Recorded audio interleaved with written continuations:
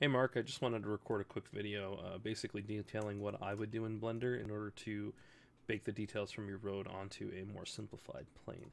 So let's assume that this is your road. This is a model I obtained online for free. Somebody was just giving it away on Sketchfab. Um, so I would create a plane like this and move it up. Then I'd scale it out roughly to the dimensions of the road. Now I know you mentioned that on one end of your road there was some sort of uh, drop or divot or something, so I'm just going to get this relatively close to the overall surface quality of it uh, and just kind of move this in place here. So let's make sure that this plane kind of covers the whole of our road, which I think it does more or less here now. And what I need to do is I need to apply my rotation and scale, and then I can come in here and start to add in a little more geometry to give the surface of the road um, just a little more detail. So I'll put in a cut right here and just kind of move this up. Now in your case, if there's a dip, obviously you wouldn't move it up, you just move it down. It's completely up to you. Uh, basically just base this geometry on however your road appears or looks. So that's roughly an approximation there. And then let's do the same thing to the other side here.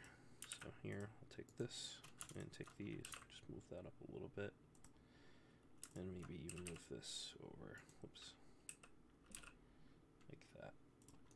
And then now what I can do is I can smooth shade this. I want to make this geometry somewhat um, square, so I'm just going to add in some more cuts. Just get it roughly square looking. Take the whole thing, press U, and unwrap. And that just gives me a UV map here to work with for texturing. Okay, so I'm pretty happy with the way that that looks. Again, I'm going to apply my rotation and scale because I'm a little paranoid about that and I'm going to go into shading. So this plane obviously doesn't have a material on it, so I'm just going to create one. I'm just going to call this road underscore bake. And I'm going to create two image textures here. I'm going to do image texture one, and then I'll duplicate this as well. And then I'm going to need a normal node, or normal map node, I should say, and we'll just connect this up to my normal right now. So we're going to create two image textures. One of them now, obviously, make this whatever size you need it. So if you want a lot of resolution, crank it up to 4K if you're inclined, or 2K. I'm just going to stick with 10, 1024 or 1K. Um, I always turn off alpha because I'm not using transparency, and I'm just going to call this road underscore diff for diffuse. And then this other one, I'm going to call this one um, road underscore norm. That should be fine. Just hit OK. Now this road norm, I'm going to switch this from sRGB to non-color because we're baking non-color data. This one, uh, did I not? I guess I didn't commit that one. Uh, road underscore diff for this one and just hit OK for that. And then this one will be color data, so I can leave that as sRGB because that's the color space I'm working in. If you're working in a different color space, obviously change that. So what I want to do is I'm going to select the original one, shift select the new one, make sure I have my diffuse node selected as well, come over here and switch my engine to cycles, switch my device to GPU, uh, just because it's faster. Come down here to baking, use diffuse, and then turn off indirect and direct, selected to active, and then just hit bake. And what that'll do is it should bake out a color map that we'll see in the lower left hand corner once it's done. So we'll just wait for that to finish real quick.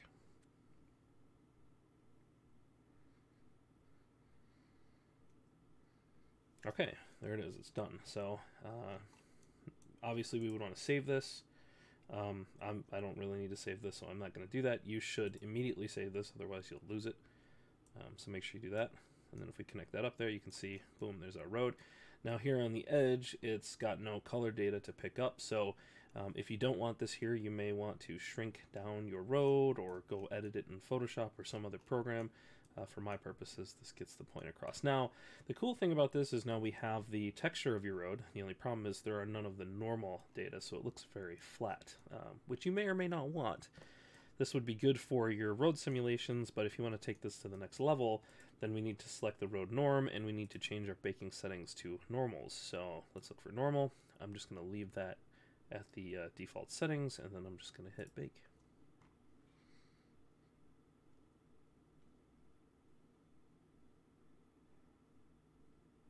Alright, so now we have our normal map baked, and that was all in real time. I didn't actually pause the video. So now if we hook this up, you can see that now we're getting some normal detail that should change if we change the lighting settings. So if I rotate this, you can see that it is actually reacting to the light. If you want to take it even further, you can go ahead and create metallic and specular and roughness maps and all that fun stuff.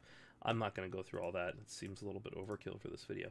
But more or less, this will react to the um, strength of the light, the rotation of it, the environment that you put around it, and then of course it contains all of the color data. So if I move this uh, baked road away from the original one, you can see we have our original one on the left and our baked one on the right.